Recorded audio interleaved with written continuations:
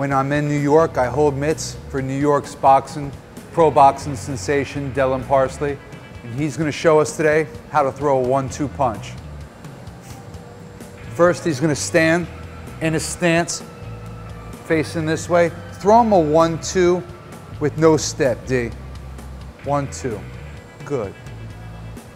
A jab and a straight right. Nice.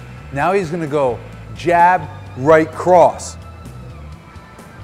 Pulls a little bit more shoulder back for the right cross. So notice the one, two, jab, straight right is a little bit shorter than the one, two, jab, right cross.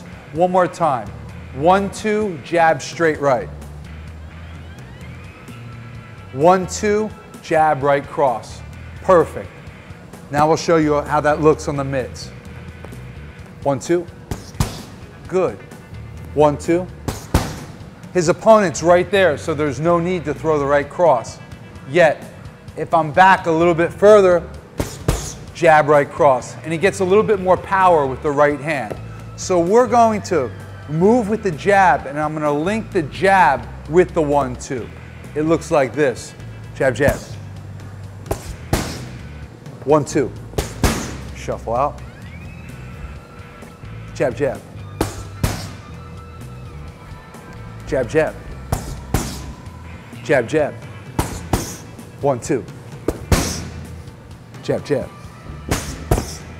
One, two. Jab, jab.